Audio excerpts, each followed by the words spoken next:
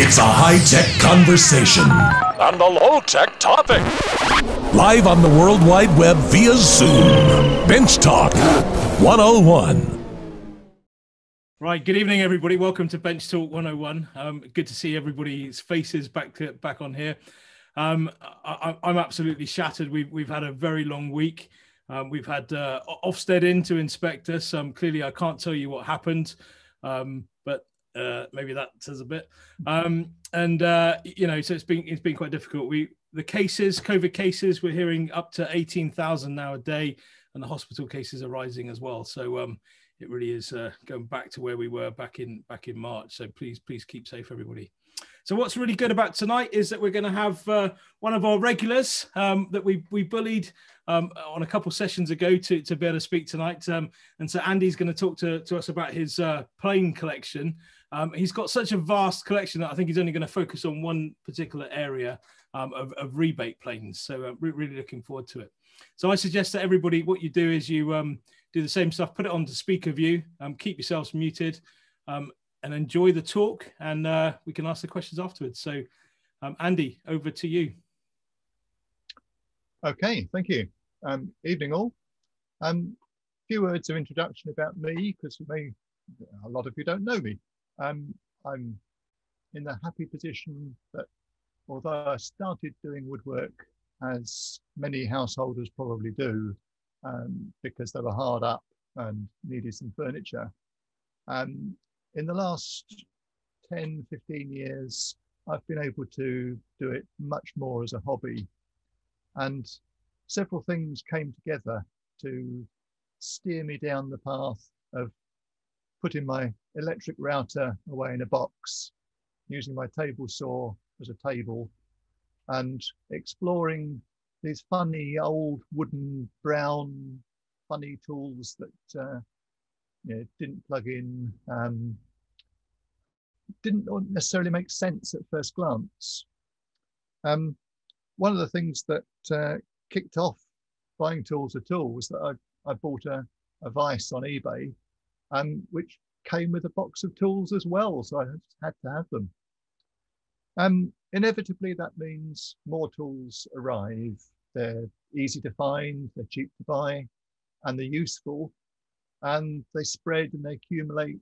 And here in my little basement workshop, they've gradually filled up the available shelf space. They've overflowed a bit into drawers and cupboards and boxes. Um, but I've, I've pulled a few out this evening, uh, ready to show you and talk about. And I want to try and get over a bit of why I think they're interesting and useful. And the whole subject veers off in so many directions at once. Now, I'm very well aware that to some of you, you know, you, have been doing this donkey's years, you'll know far more about it than I do um, and it'll be very familiar. I hope I'll find a few things that won't be familiar, um, but we're not all in that category, and there may be some things that are um, new and surprising. What I'll do, rather than show you my face, um, most of the time I'll home in on the bench, and that's the that's the first one I want to talk about. It's a perfectly ordinary, plain wooden rebate plane um, it's actually about 200 years old, but you can only know that by looking at the maker's name on the toe and looking it up, because they stayed looking very much the same uh, for several centuries. It's a lovely user. It's a simple tool, but there's some subtleties to it because the the left-hand side of this escapement hole is larger than the right. So as the shavings come up, they hit the wedge on the end, they slope on the end of the wedge and they curl out the side. Fine, that's a rebate plane. Um, I will put this one in the in the mix as well, because that is actually the first old tool I ever bought. And I bought that before all the others when I just needed to make a rebate. And for sentimental value, it's an ordinary tool. It's no maker's name, but whoever had it thought it was worth putting a bit of boxwood on the sole, giving it another lease of life, and it's carried on for a few hundred years yet. If you're coming at this for the first time, that's probably more the sort of thing you'll find about an inch wide, um, still with a, a skewed iron. Um, skewed irons are actually easier to find than square across the body, I think. Um, some old catalogues you see skewed cost threepence or sixpence more. Later on, there seemed to be no difference in the price. It was just just as easy to make a skewed iron as to make a straight one.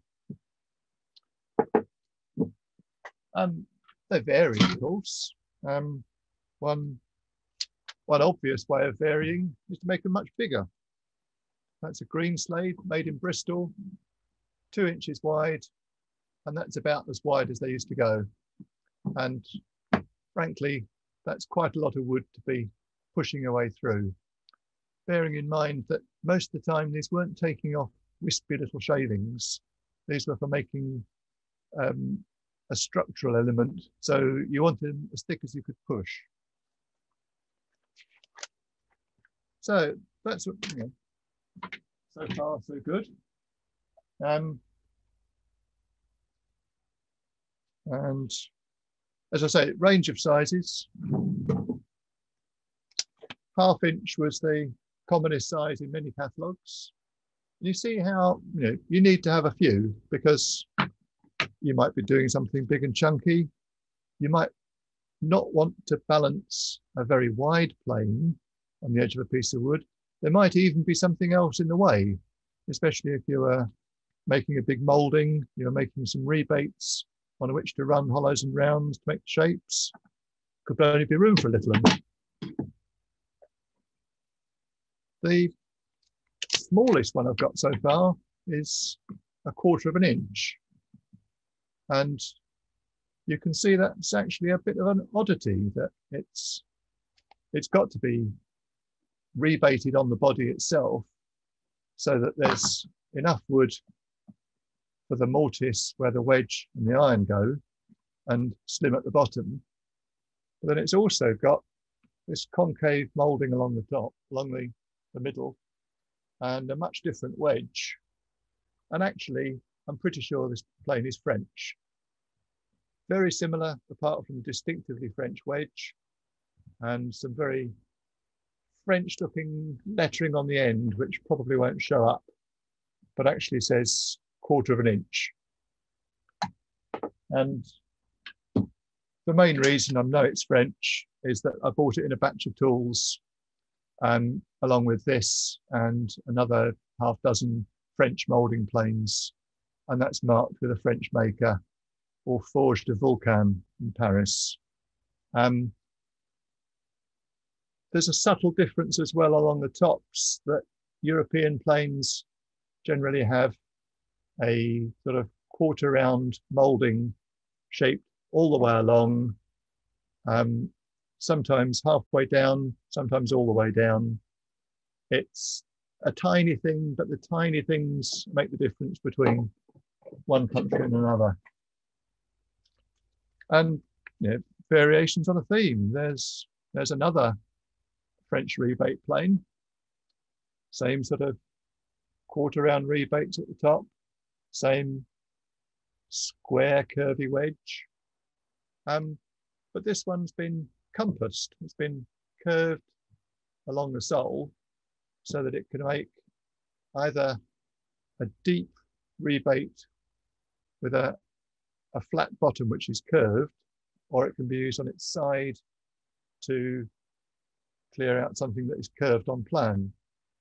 And that might be in architectural joinery, it might be in making a revolving door, um, a fancy counter for a bar or an arched window, all sorts of things. Clearly, different pieces of that sort of work um, would need different curves and different sizes. There's a much smaller one. Um, I was trying to find out who made this tonight. Um, there's no, no maker's name on it. There's an owner's name, which says H. Vardo. Vardo, I now know, didn't know this an hour ago, um, is a very unusual name. Almost all the Vardos come from one area of Cornwall, and they worked as um, China clay diggers, apart from one or two that escaped, including Henry Vardo, who went to live in Hanwell in Middlesex, where he worked as a, a cabinet maker. Now, it may not be him, but it's probably him. The dates are about right. He was 1860, uh, 62 years old in 1899.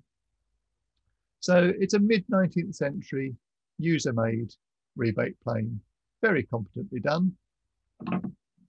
And I'm sure it was exactly useful for what Henry was doing at the time. Curves, you've got to plane those curves. There's no other way. You haven't got a, an electric router to do them.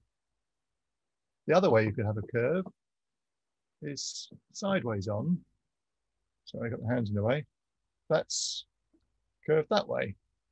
So imagine this cutting down into an arched rebate of some sort. Um, clearly you'd need different sizes, different tightnesses of curvature. Um, that's working both ways in one plane and it's got most of the body cut away to be a handle and most people, most catalogues um, would refer to these as coachmakers planes.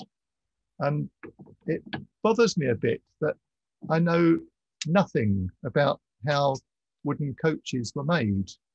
There must be good reasons why these particular planes were needed. And I can see that the whole thing is full of curves rather than straight lines.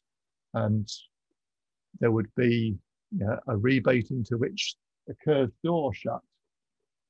But why did coachmakers need a different sort of rebate plane, which was like this, um, where the body has been cut away and the wide part of the blade is just a tiny bit down at the base.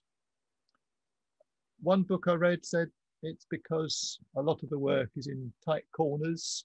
It means you can grip the thing without your fingers getting in the way. You can get right down into the the edges of the um, the coach work that you're doing. This one, by the way, could be anywhere between 1880 and 1930 from the maker's name. It's from Buck of London and from the address they were at, that gives the dates. And that's one of the big, complicated family dynasties of tool dealers.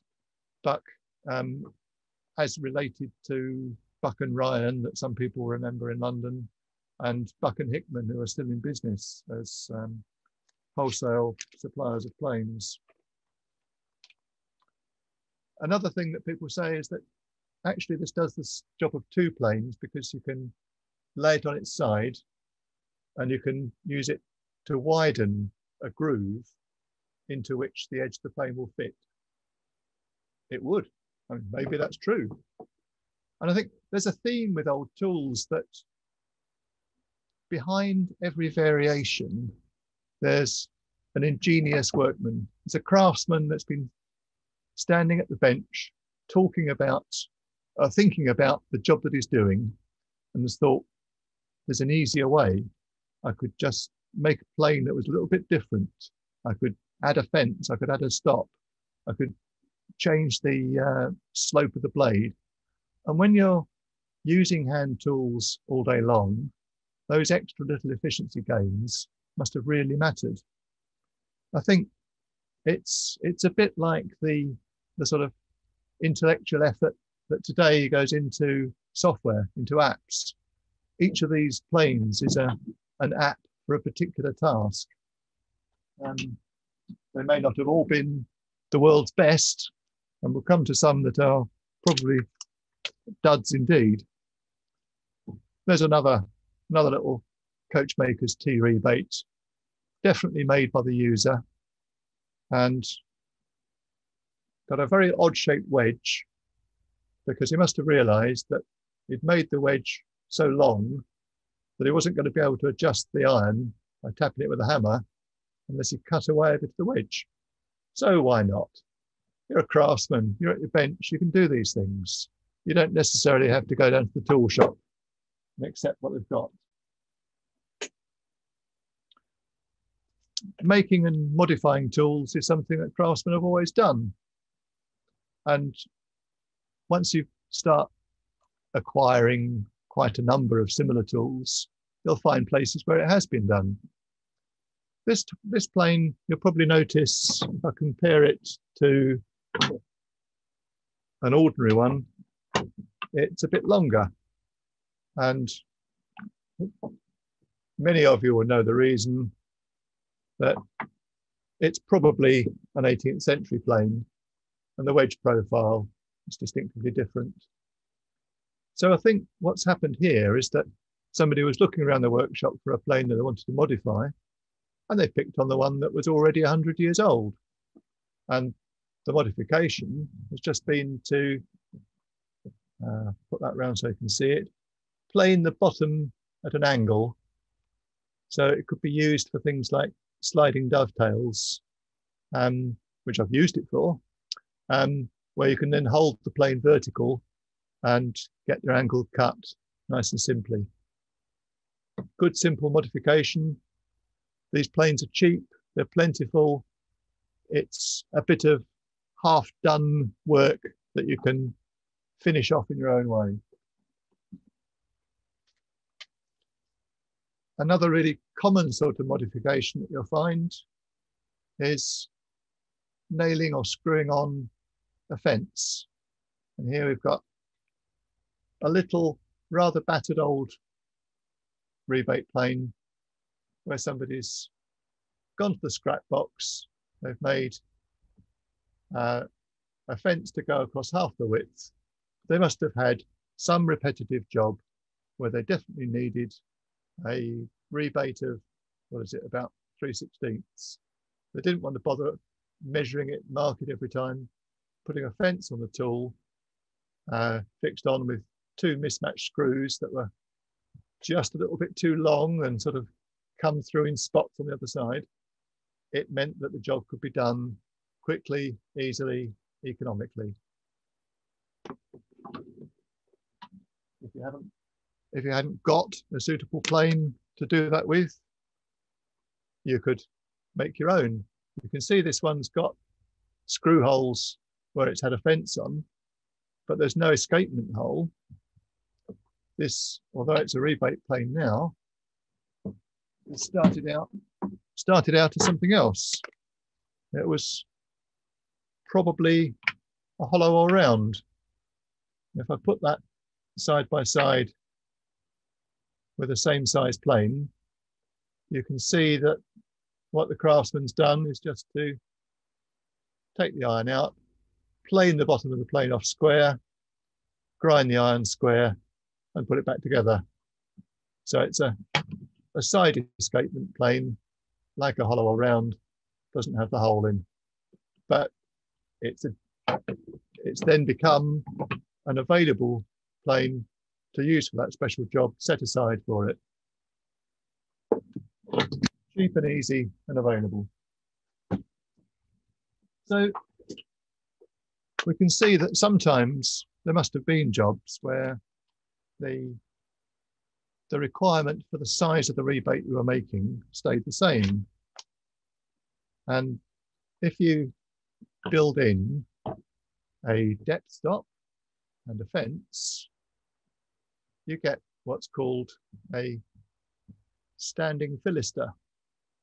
And that will make a rebate that's that wide, that's 7 eighths of an inch, and that deep, which is 3 sixteenths. And if you want to make a rebate 3 sixteenths deep and 7 eighths wide, that's the very easiest thing to do. All you've got to do is put it on the side of the wood and push. Why would you want to do that? The probable answer, according to books and articles that I've read, is that this was a solution that came about early on in the history of uh, sash window making, where the the better method that survived hadn't yet been worked out, and making the rebates for the glass was done with a rebate plane, such as people were used to, and you would cut down one side of the wood and cut down the other. And by having a fixed plane like this, you could hand the job to an apprentice or somebody junior and just have them produce the required uh, sections all day long. And although these hardly appear in catalogues, there's a, a, slightly more frequently listed plane called a, a greenhouse rabbit plane. And if you imagine making a wooden greenhouse and planing all those sections by hand, you'd want a plane that uh, did the marking out for you. And that's what they were in a slightly smaller size. That's not the only job where um, a particular size rebate was called for. And there's another um, another example, which I think is even more unusual. Um, I can't say for absolutely certain because it doesn't come labeled, but I think this plane here is an example of what's called a cockbead fillister. Um, they're known about because there were two of them in the Seaton chest, um, and they were itemized in the, the list of tools that uh, Gabriel had provided. I'm, I assume everyone knows, but just in case, the Seaton chest is a, a wonderful survivor from the 18th century of um, a complete chest of tools made for a young man going into the trade that somehow became separated from being used and it's been preserved and it's like a time capsule into what the, the well set up um, joiner and cabinet maker would have had in the 18th century. Much admired, much studied. Um, the, the idea of a, a cockbead fillister, um, if you imagine a drawer um, and you want to put a decorative strip around the fronts of the drawer, uh, to frame it. You first fit the drawer. You then need to remove a little bit of wood all the way around to put this decorative uh, molding into. And the idea of this was that you could cut a fairly deep rebate going down onto the edge of the drawer, um, same size all round. It's got a, a nicker here to um, sever the fibers when you're working across the grain. That's the, the sort of story, but there's a school of thought, an interesting article by somebody a few years ago saying they reckon it was actually an 18th century toolmaker's ploy. It's a really impractical tool.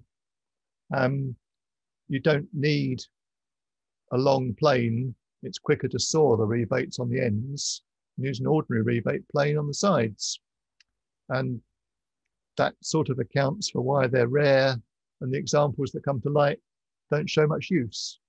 So just as not all phone apps are brilliant and don't all get a million downloads, sometimes there's an idea that, yeah, not such a good idea.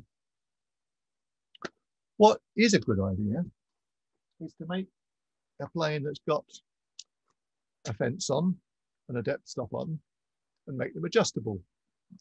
And this is something that I'm sure you'll, you'll be familiar with or own. And I can see one behind Geoffrey, so I'm sure he knows what I'm on about. This is your standard moving fillister. Um, the fence is set in the base by a couple of screws. You can expose more or less of the blade. The depth stop rises up and down to let you cut further down or less further down. And there's a nicker for when you're working across grain. I bought this as a user tool because I wanted to use it in making furniture. I think I probably paid about 10 quid for it.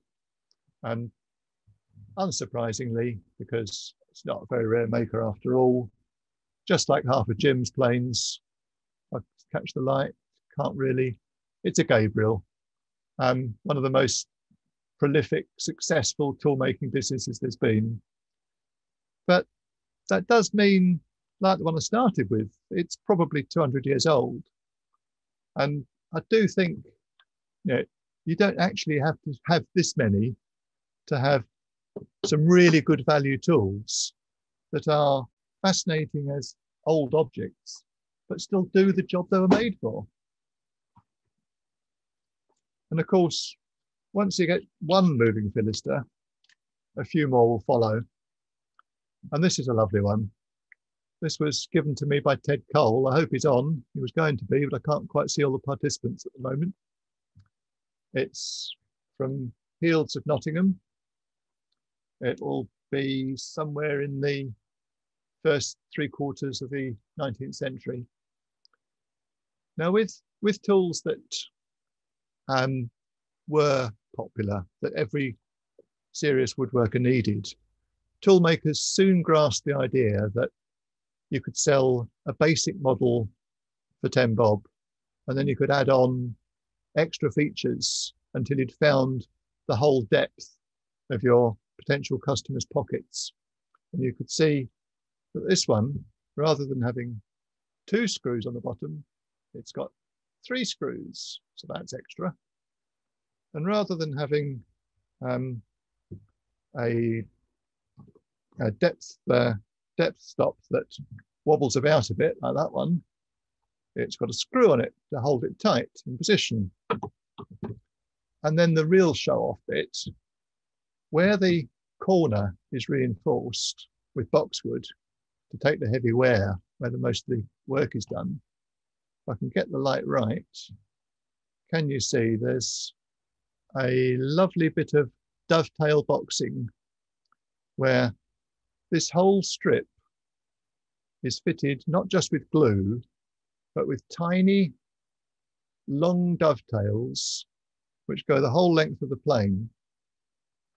Remember, these are all made by hand.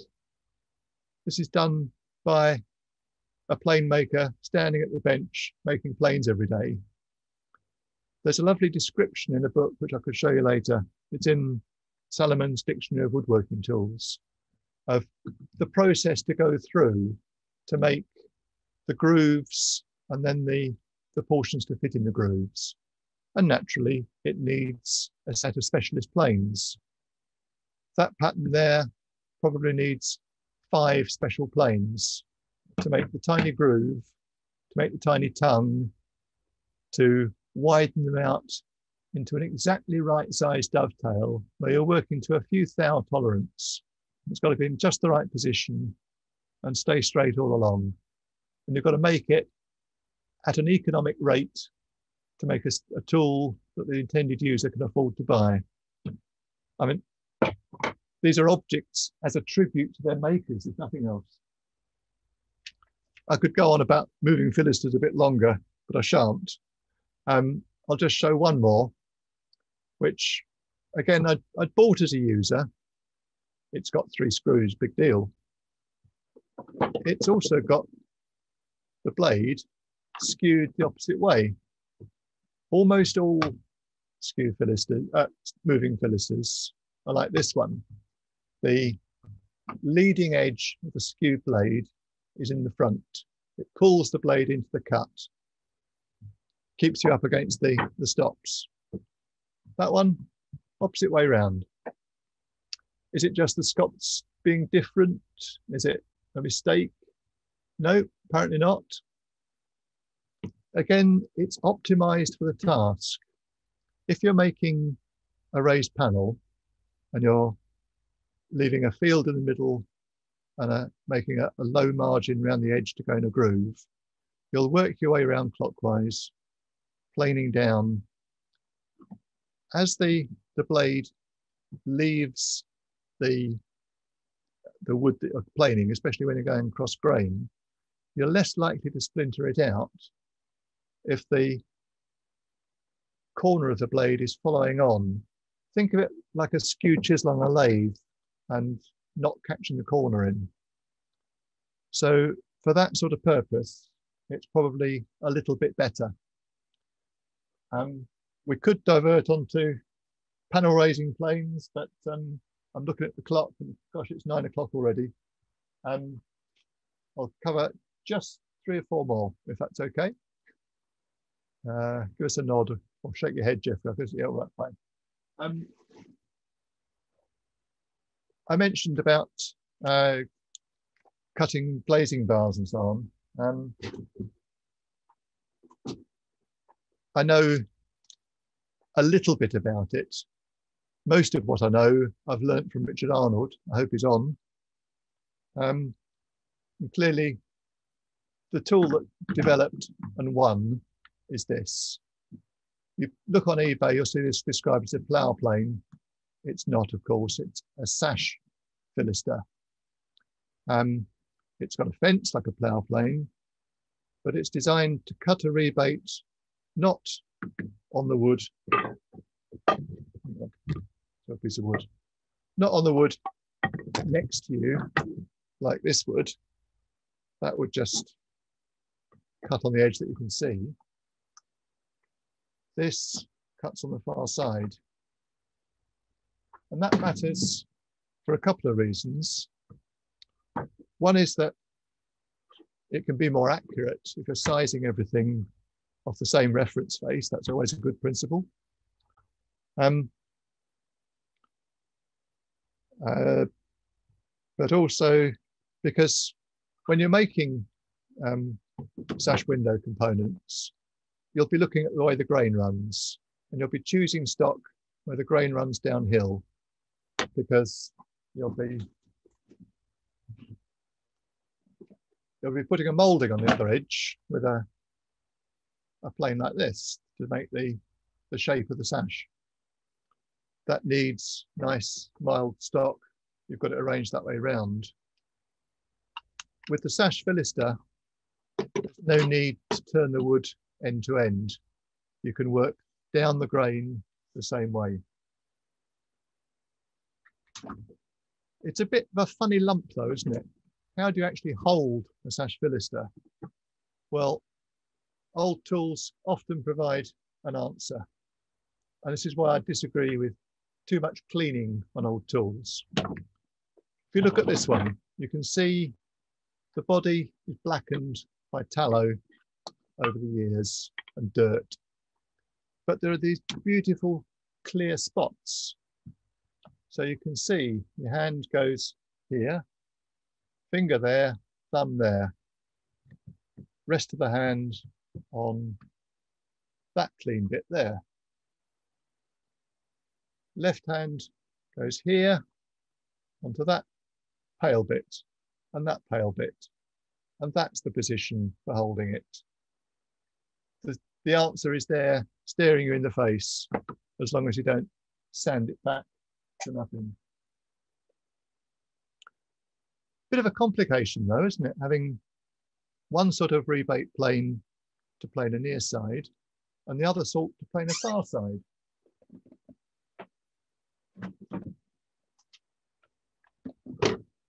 What you could do is combine them into one plane. And this is the rarest one I'm going to show you tonight. This is a combined moving and sash fillister. So there's a depth stop on this side there's a depth stop on this side. There's a nicker on this side. And on here, the fence will slide, sorry about the view, slide all the way across underneath. You can register onto the far side or onto the near side. This is a very odd plane. Again, I must say this was a very generous present from Ted Cole. I do hope he's there. I do hope he's listening. Um, and it was a right puzzle. I didn't really notice who'd made it when I first saw it. There's a faint name on one end that says Reed.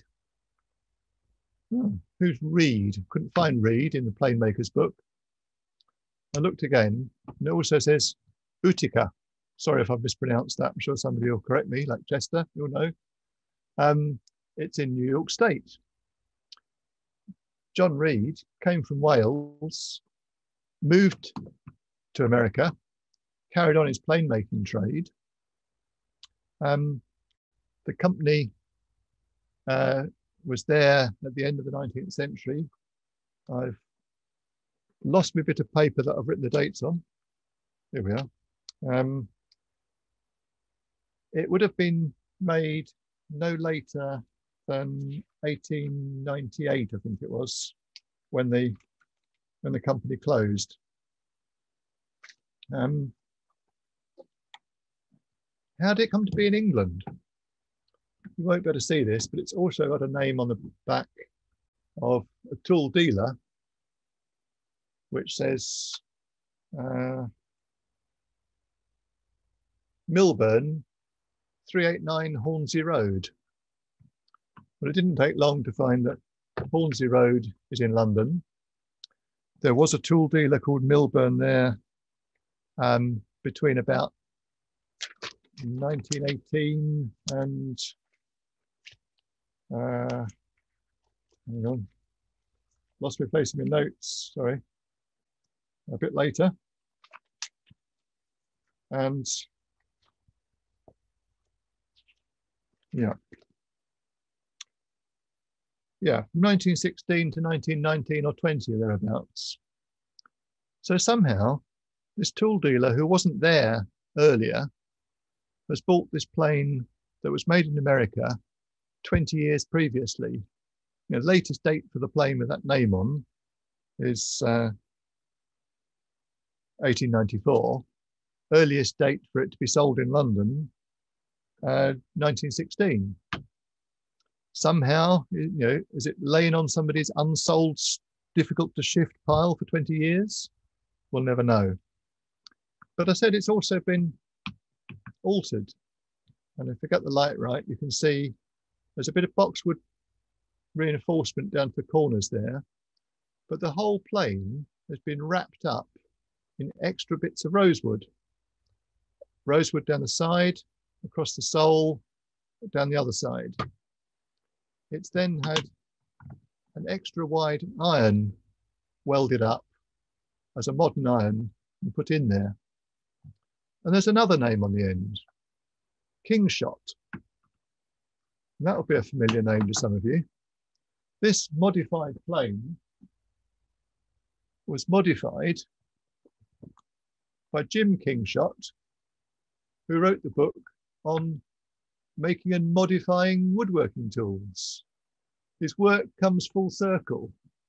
He's taken a very unusual, rare combination plane that hardly anybody made, an even rarer variant that's got screw arms rather than wedge arms, and he's made it into a beautiful one-off, and it survived. And now I own it, and I'm really happy. And that's a bit of the pleasure of you know, owning woodworking tools and planes in particular. You'll recognize the design of this a bit. It sort of comes through into that sort of ugly utilitarian um, rebate plane where you can put the fence on the other side. I don't suppose anyone ever does. But that's about the one design out of all these that survives. You can go into Screwfix and buy one of those. They'll charge you 90 quid for it. It's only got one star reviews that say it's awful, but it's there as an option.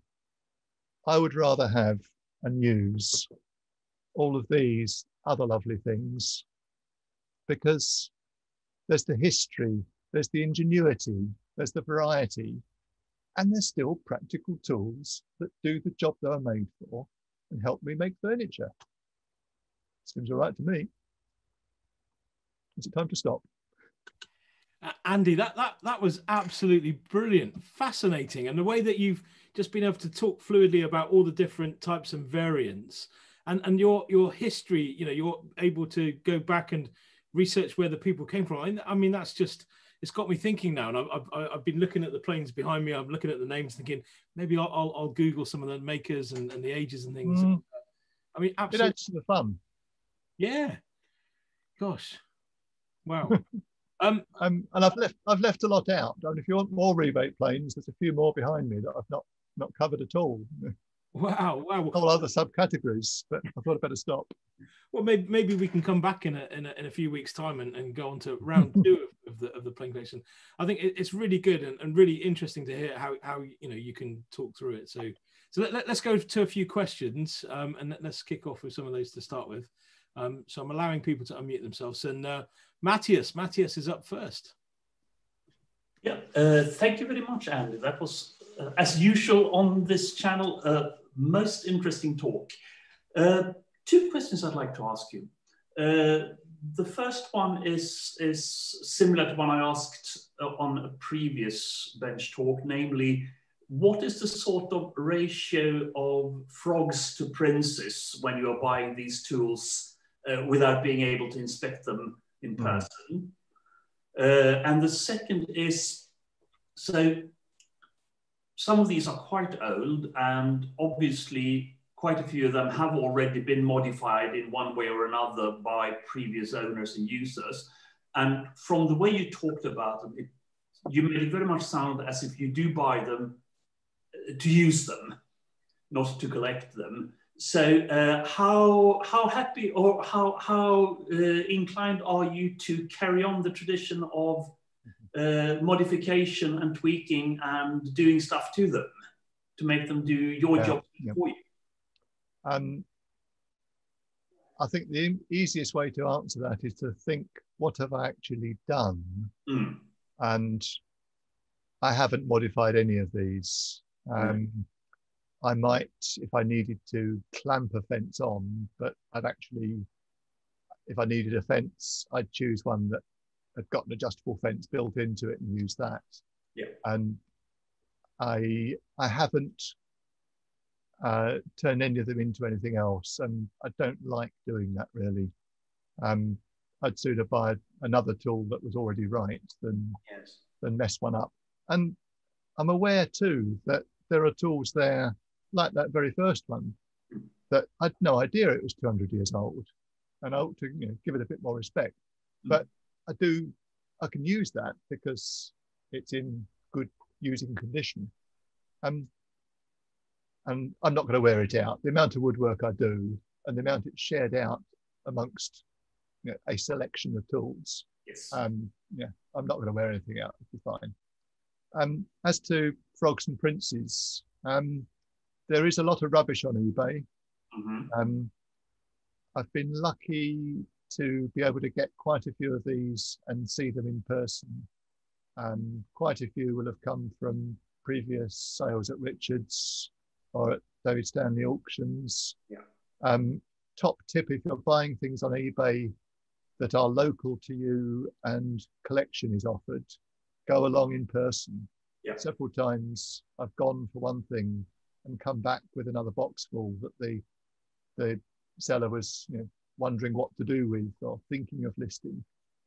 Um, some of them have come from Bristol Design, which is a, a, great shop in Bristol, which has been there for over 30 years, and I've been a customer all the time. It's been there, I think. Um, it's a rare survivor of a, a real in-person old tool shop. Yeah. And long may it thrive. Mm-hmm. Okay, thank you very much. I mean, I, I, I, there are more questions popping up in my head, sure, but, but uh, I can see in the chat that there are people in the queue, so I'll, I'll shut up for now. And if there's room at the end, okay. I'll come back. Yep. Lovely, lovely. Um, Jim, Jim Hendricks up next.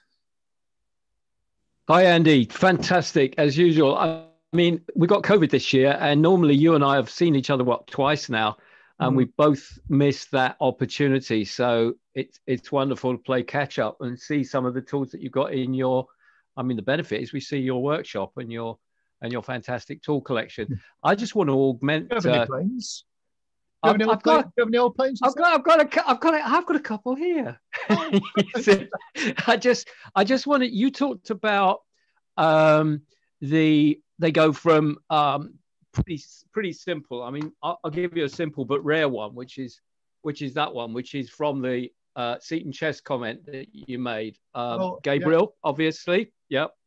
I, um, have, I, I, left out Dado planes. I thought you know that would just take yeah another half hour. It's actually it's actually a um, the stepped uh, fence on it. That's the um, whatever you said it was earlier. But the one I wanted to show you, because we go from simple to sophisticated, and this one is I don't know how clear it is, but mm. it's stunningly beautiful. We talk about the boxing at the end, mm. and this one has boxing in boxwood, but it also has ebony on the very corner. Oh yeah, and it is by a lady, uh, a Moon, Anne Moon, in uh, down in St Martin's Lane in London, and it is a stunningly beautiful thing. It is, it's it's a pity you can't actually feel, but it is beautifully well, made. Post it off to me, and I'll I'll let you know. I'll post it off to you. I'll send it to you next week. Okay. you can you can rip it from my dying hands if you want. but but the one I wanted to show is actually nice. to show to show Richard. Do you recall we sat uh, talked about um, repairing planes, repairing wooden planes back in the day. I think it was at David Stanley, but Richard will probably correct me if I'm wrong. But the, the cunning Watsits gave me, he said, You collect Gabriels. You remember they gave me a moving oh, Fillister, yes, yes, which had no no front to it. Mm. Okay, the mm. whole front as missing. So I thought I'd just show yeah. um, to see whether you can tell which part's original and which part, because none of this or the depth stop or the base was there. It was just this part and that part. So, you know, it and it, it was so important because it is a Gabriel. Yeah. Um, so all of this boxing here is new. So it was just it was just a comment for the for bench oh. talks just to show basically um, how you, you know when something is that valuable, which it clearly is, it's very it's it's I find this is where I I, I love doing is getting something that's that much of a basket case. Mm. And it, oh, link, yeah. it links in yeah. with what Matthias says about basket cases or princes and, and uh, paupers, if you like. Um, this was very much a hobo, I think. That's for the Americans, by the way, a tramp. Mm. Um, and as you can see, it's very much usable now. Um, yeah. And authentic to the day. So there you go. That's my show and tell bit, just to augment your beautiful collection. I do hope you hide your initials on the new bit somewhere. I haven't. I'm not that. I'm not that um, uh, immodest, but uh, no. But it's just a joy to bring yeah. something back. I mean, it was very, very much. Um, I think it was Richard playing "Let's Challenge Jimmy" time. So anyway. Well, let me before much. before we go to the next question. Then let me just give you a line that I noticed in the um, Salaman Dictionary of Woodworking Tools sorry, I'm holding up the wrong camera there, uh, in this book, yep. Um, yep. where it's got the description of how to do the boxing uh, with all the different special planes. It does say about the, the sloping boxing, like you've just shown us. The tools and methods for working the sloping grooves for these boxings are not known. So perhaps yeah. you've rediscovered it or worked it out from first principles. Well, I'm not sure if I can. I mean, this one's much clearer. Um, you know, you can see with. Um, I mean, when it was Anne mm-hmm. Moon, it's mm-hmm. actually yeah. Anne Moon's uh, took over from her husband who died prematurely and ran the company. I, I'd like to think that she was one of the first female woodworkers, but um, I, am pretty sure she ran the business and ran it beautifully because it know. was virtually in bankruptcy but you can see how it's cut in. I think it's mm. basically a, a, rebate on a slant and then a bit chopped off. That's what yeah. I would do. Cut, yeah. cut the rebate, cut the rebate like that, a very thin rebate, and then just off and fix yeah. it on. But it's beautifully. I imagine, you'd, I imagine you'd make some sort of jig that would hold the plane at the angle, so you could. yeah. Yeah, you just have the have it like that, mm. and just plane down into it it's yeah. um, uh, but again, it's it's like you say, it it probably was. I, I haven't seen this com- in combination with ebony on the bottom. No, that's, that's... on any other plane, and it is very very posh. And I think it, it I think to a, in a way it does it does almost represent a lady's touch. I'd like to think it was round the corner from where I used to work in London, uh, near Lincoln's Inn Field, and um, it, it's kind of beautiful in its it's a piece of art, mm. and, and I think that's a that's a that's a, that's another difference between that and and the and the rebate metal rebate that you showed from Screwfix. Um, yeah. Screwfix. It's it's these things are pieces of art, in my opinion. Anyway, I won't take up too much more time, but thank you very much. It was it was fun. It was wonderful. Lovely, lovely. Chester, over to you. Over to the Americans now. I was sure that there were other people ahead of me. Um, let me just say, Andy, to begin with, um, I really don't have any specific questions um, as much as to say that um, I, I think that you wax poetic and have a nice um, balance between admiration for these pieces as works of art, as Jim said, and, and the technology involved in creating them, as well as an appreci appreciation for, for the technology that they expose as, uh, uh, uh, as uh, you know, incrementally to the time period that they were used and, and the purposes. I, I find fascinating some of the coach makers ones that you have, particularly with the curved bases, which act as fences to allow you to cut a, a rebate uh, along uh, a, a, peripheral uh, exterior arc.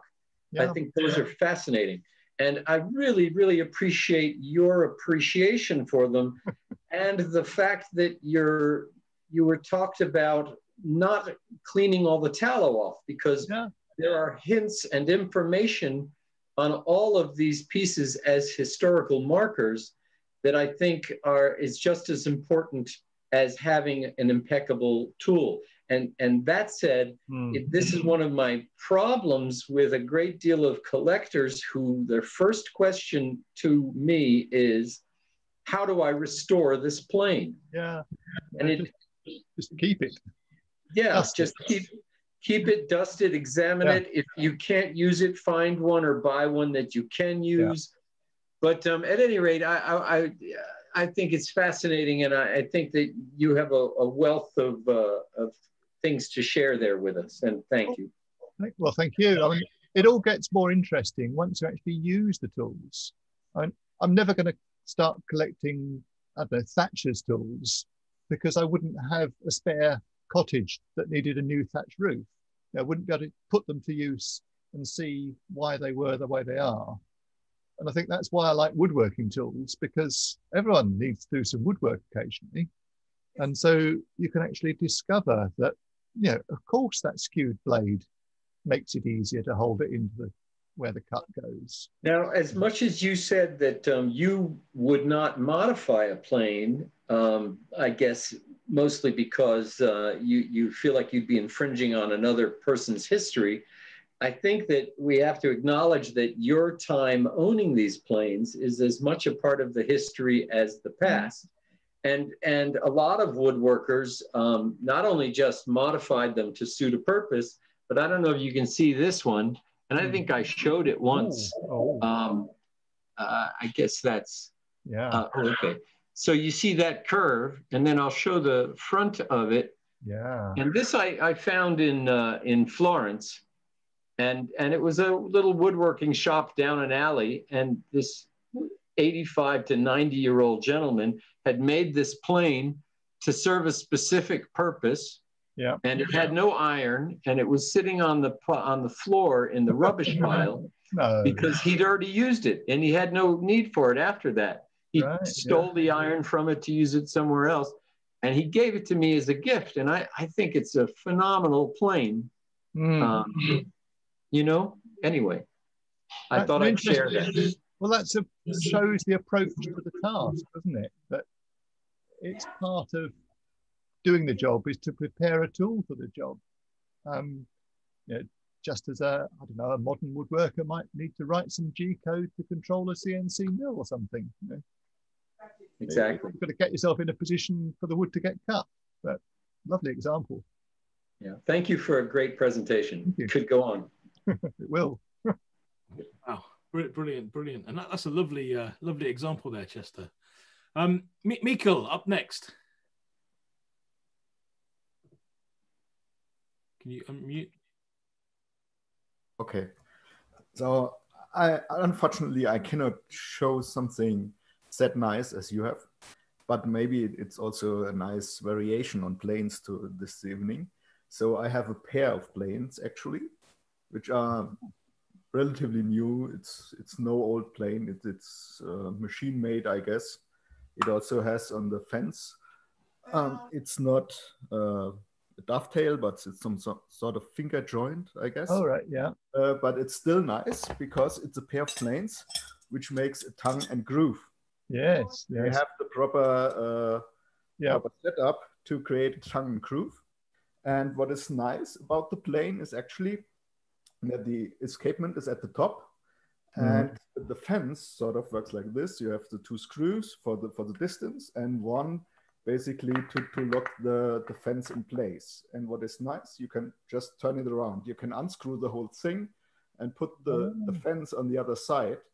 If you want to go against the grain you can just reverse the fence and go the other way. And so you can also always plane downhill. So although it's not so nice and old it's still a very interesting set of planes Yeah. and um, yeah to make tongue and grooves Who's that? Unfortunately, i got it very cheap on ebay but i Okay. haven't made it work yet because it doesn't hold the, the irons well so it, it unsets itself so i have to tune it to make it actually work but it's a nice thing so i thought i, I show it a little bit around Do you know who it's made by? no, there is no marker sign on it. It's completely untouched in terms of, of any name or whatever. The only thing which is on the on the blades, um, I have some sort of let's see how we can make this work. It's some sort of flower or, or Oh yeah. flowery sign or sort. Yeah. And then this one, it's uh, also some kind of flowery thing. I don't know, but I, I think the um, the irons don't belong to the blade uh, to to the plane. Right. It- I guess it's some sort of homemade thing. I don't know because also when you have a look at the the body, um, it seems that the um, the fence was cut from from one piece. So Yeah, the, the yeah. marking goes all around, and then they just cut the fence and put some part on, on at the bottom, I guess. So I don't know whether it's really some uh, It, it might made thing or it's some homemade thing or something. I don't know. it might be that there's a, a company in the Czech Republic. um, not sure how you pronounce it. It's spelled P-I-N-I-E, Pinie, Pinie, um, who still make quite a wide range of wooden woodworking planes. Um, and there's a video, a very old video on YouTube showing them using uh, machinery to cut the, the shapes and to route out the mouth. Um, and if you look at, I think, pinier.cz.com possibly, um, you might find that style on their on their website in their range, and they are around. eBay's the sort of place they'd show up. Mm. Good to see that uh, wooden planes live on. Thanks. Lo- lovely. Um, right. So ne- next is uh, all the way over to Brazil. Um, Thiago. Hi, everyone. Nice to be back. Hi. Uh, well, it's it's it's uh, yeah. The, I I just wanted to to join everyone in thanking uh, Dave for the lovely presentation, and um, yeah. So it, it it it was really nice to see your uh, sense of care and and love for those planes, and uh, just I- you you you were talking, and I was. Uh, uh, I just remember the, the there's a word in Russian for the, the Russian word for for thing. I believe is it, it's uh, vesh, which is the same word for message. So there's this notion, and it's present uh, uh, in language that uh, things are messengers, and they Mm. do carry history and memory and uh, and ways of working and, and, and really seeing a way to, to see the world. So it was it was lovely to see that, and uh, I came to woodworking. Uh, working uh, with musical instruments and historical musical musical instruments and and you see that if, if you Oh, just want right. to change something or or uh, uh, or if you, if you do believe in progress and you think that things you know Mm. should be uh, better, and, and and then you, you just you, you can uh, uh, really do uh, great damage to Mm. to things if Mm. you do if you're not that respectful when using and caring and even restoring uh, tools. So just just a big thank you, and uh, I was, Yeah. really touched by your uh, your talk. Thank you. Musical instruments, what a lovely way into the whole world of it, where you know, there is, I presume, Yeah. a lot of respect for the past and for hand methods, as well as Yeah, what we do now, we, we, we Chinese had we had a yeah. Yeah, so I mean, I'm, I'm, I'm gonna I'm gonna butt in here a bit, and, and I'm gonna I'm gonna do my bullying part actually because um, uh, you know we, we hear a lot from the Americans, we hear a lot from the Brits, but we don't hear much from from Brazil. So Thiago, do you want to talk to us about Brazil and about woodworking in Brazil? Maybe next week. Oh, I, I'd be delighted, yeah, if I can find something interesting, and uh, if I can keep uh, if I can keep myself from talking about politics. well, I'm, I'm sure that um, you, you'll be able to find something. There's lots of things. I mean, you know, you, you've got a great channel that you put out there, and you, you've had loads of different speakers as well. So I, I, I, it would be just great to hear it from from a Brazilian um, uh, point of view. So you know, we look forward to to next week if if that's all right with you. nice, yeah, looks looks uh, awesome. Thanks. Brilliant. Right. Thank you, Thiago. Okay, ne- next question up is um, Eric. Hi there. Uh, th- thanks, Andy. That was a fascinating talk. I think it's really interesting to see how you were able to work out uh, how the how the tools were actually used. Uh, so I've I've got a plane here which I can't quite work out what it was what it was for. right. Uh, it was it was full of it was full of wood woodwork, uh, full of wood woodwork, full of woodworm. Sorry, on it. Uh, the blade is a sort of strange looking. But where's the camera? Uh, there, it's. It's sharp. You know, it's it's not. I've never cleaned it up, but it looks as though it's been sharpened on the on the long edge, uh, and it's just rusty on the other side, so it doesn't look as though it's ever been sharpened. So when you put it in the in the, the plane, which has got a sort of strange strange shape like that, so when you put it in, uh, it comes out, and the cutting edge is on the on the flat side here. So the only thing I can think of is it was for doing sort of the shoulders of a, a, a narrow and deep wedge, but I can't quite think why, you know, what, what, what purpose you would use that for. So I don't know if you've got any insights into that. There doesn't seem to be much of a name on it. The, there's a, something that looks like uh, Hathor Fritch, H-A-T-H E or F R S I C H on it, but it's, it's a, a sort of proper looking uh, mark on it, but it's it's kind of slightly squint. So looking as though it's maybe not been a, a maker's mark, but it's about the, the just an, an owner's mark. So I don't I don't know. So I don't know if there's anything that you could uh, enlighten me about this. I've never caused to sharpen it up or use it yet. It was when I got uh, along with a, another plane and, and a, a bid in eBay. So this this one was like a, a sort of, and here's another one, you know, a freebie almost. So That's the perfect lead in, Eric, to another subcategory I didn't have time to cover. ah, These are the same as yours. These that's a pair, oh, right, yes, left and right. They're side rebate planes.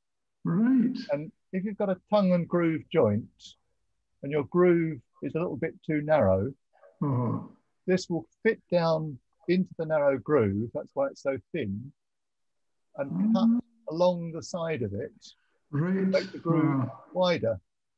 It won't cut going down because you don't want the groove to get deeper. And the, the iron should actually be um, blunt on the tip, Yes, it is. Yes. Cut along the side. But because uh, getting a good cut in that position is really affected by the way the grain runs, you do need the left and right pair.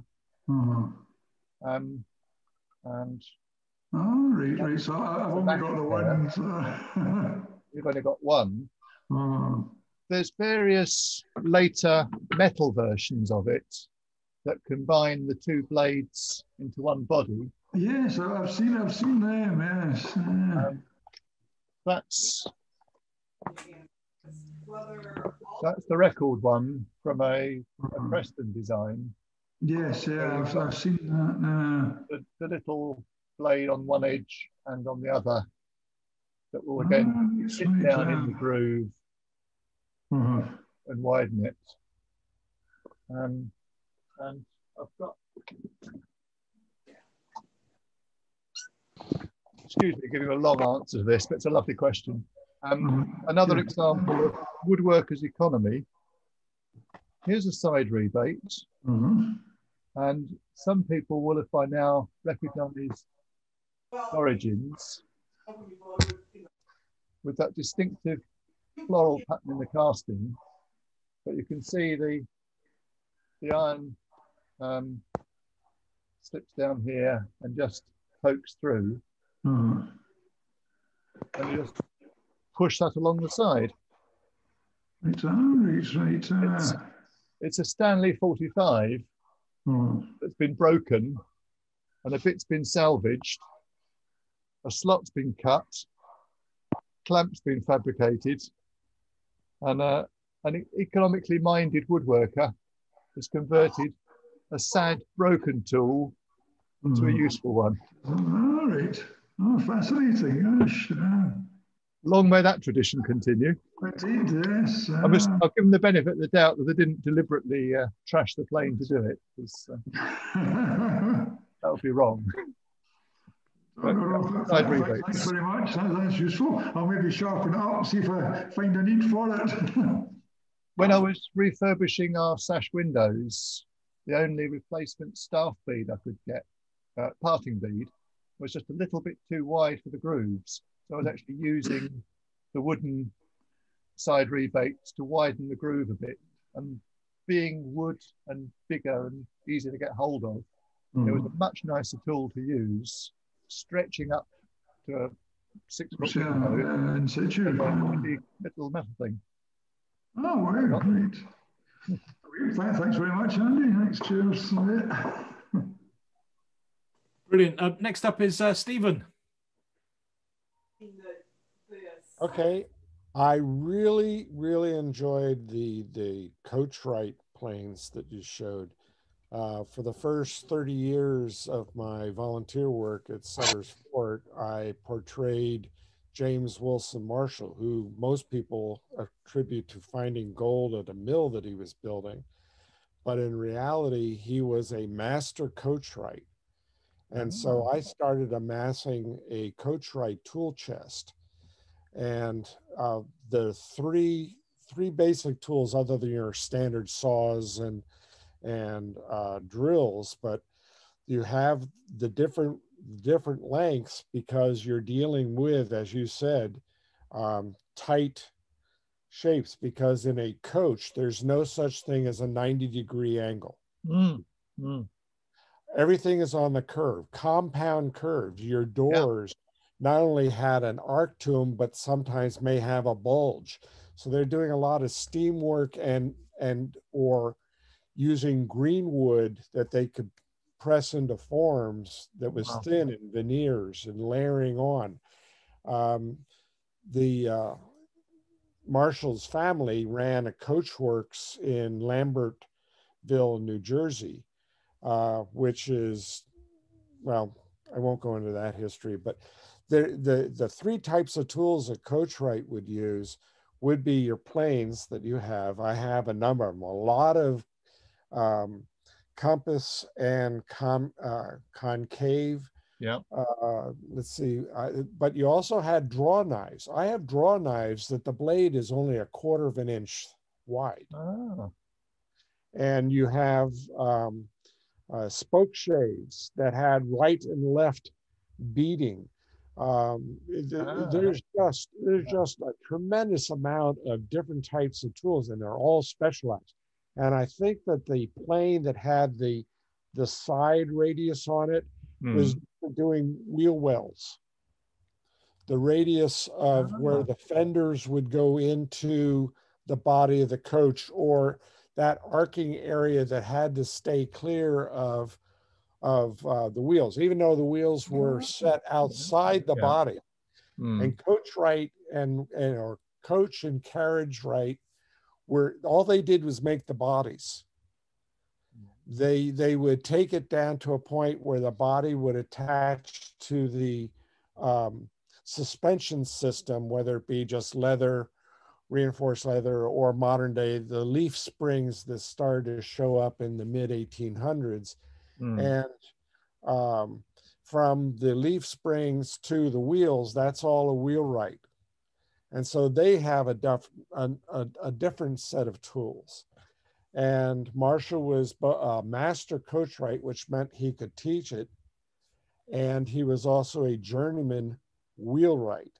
So that meant he could, he was trained because there were, he came from five generations of master coachwrights in um, central New Jersey along the Delaware River. For anyone who's in America, probably knows where it is, but it's north of Philadelphia, south of Trenton. And um, they, it's, it's, I, I've given that up yet. I still have all the tools, but I, I don't demonstrate that anymore. We've gone away from portraying 1840s caricatures and using the tools that were of that period to uh, modern day compare and contrast. But just to, that, I'm pretty sure that the the side compassed um, rabbet plane that you showed uh, was for doing the wheel, the the arc in fore and aft of the body of the carriage and coach.